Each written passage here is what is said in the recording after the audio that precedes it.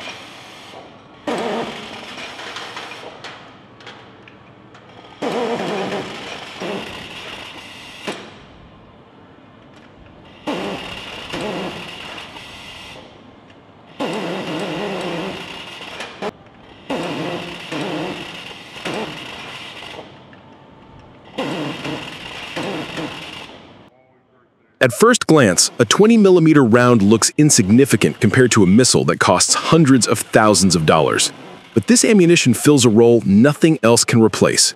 It is fast, accurate, and brutally effective in the final seconds of combat, the moment when speed, reaction, and instinct take over.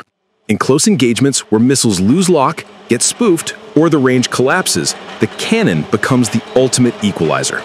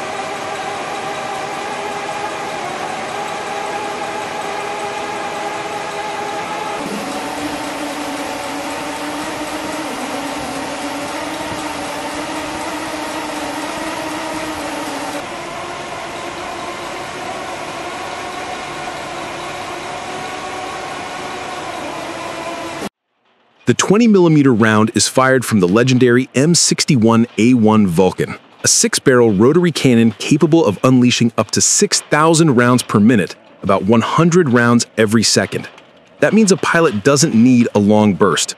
A single squeeze lasting just a quarter of a second can shred an enemy aircraft or disable a light armored vehicle. It is a weapon built for speed, violence, and precision.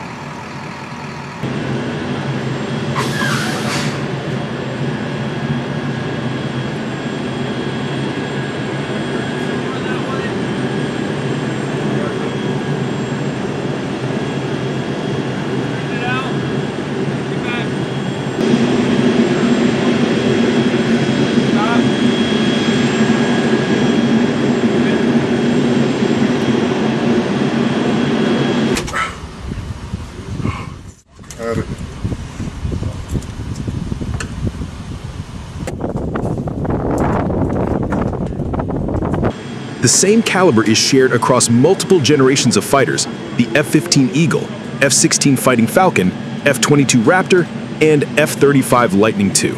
Different aircraft, same ammunition. That is not a coincidence. It is proof of trust.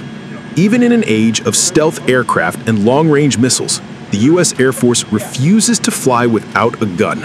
Every pilot knows, when everything else fails, the 20mm cannon is still there.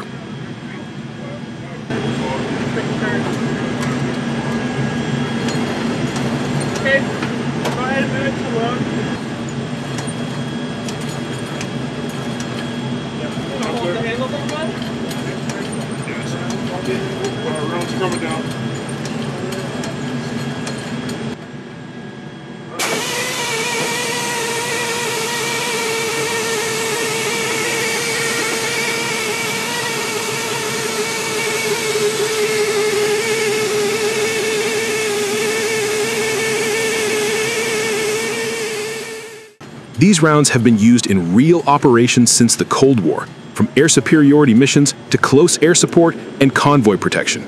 You cannot jam them, you cannot hack them, and they work in every weather, every altitude, every theater. One's off.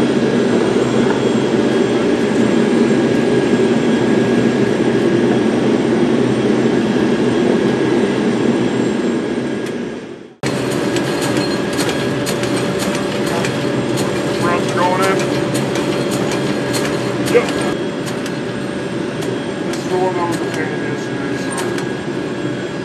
More about the shadow lines, set lines.